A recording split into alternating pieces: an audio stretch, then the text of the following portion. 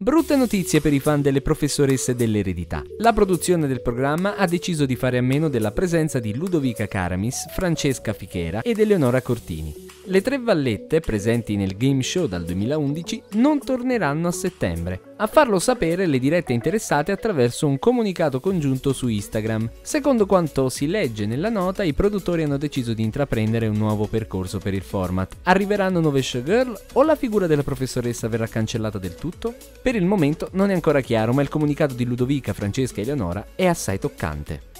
Cari amici, ci rattrista molto scrivere questo post perché per la prima volta dopo sei meravigliosi anni passati insieme, il nostro rientro delle vacanze non sarà insieme a voi. A prescindere dalla volontà di ognuno di noi, il programma ha scelto di intraprendere un percorso nuovo che non comprenderà la nostra presenza. Sarà sicuramente un percorso altrettanto bello ed è quello che desideriamo con il cuore, visto che continueremo a sentirlo un po' nostro anche se ne abbiamo già una grande mancanza. Non solo del programma, ma di tutti voi che ci avete seguito con affetto e che volevamo cogliere l'occasione di ricambiare con un immenso e sentito grazie. Un abbraccio a tutti voi.